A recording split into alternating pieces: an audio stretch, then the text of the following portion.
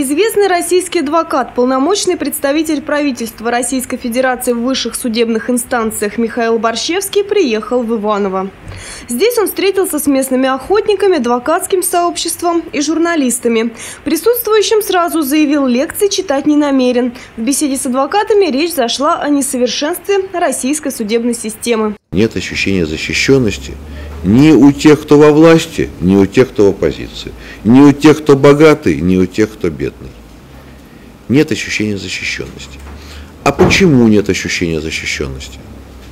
Что у нас нет суда, нет полиции, нет прокурора? Есть.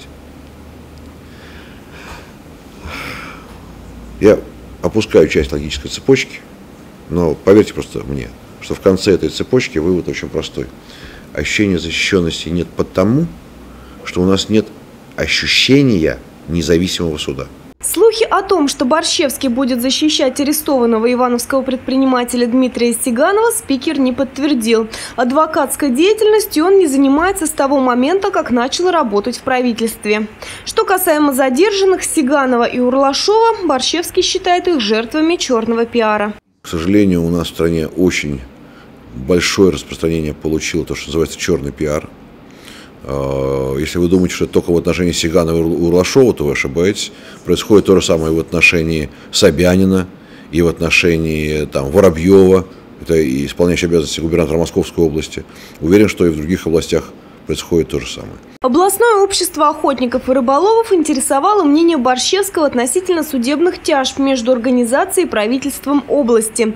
На эту тему Михаил Борщевский даже успел переговорить с губернатором. Мне показалось очень позитивным, потому что Михаил Александрович высказался в том плане, что он-то готов на какие-то компромиссы, искать какие-то сказать, альтернативные пути, мирные пути решения вопроса.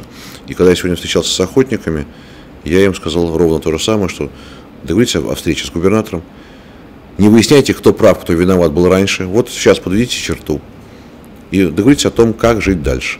Поверхностно знакомившись с делом охотников, юрист констатировал, это война, в которой не будет победителя, а потому нужно прийти к компромиссному решению. Елена Белова, Олег Мелехин, РТВ Иванова.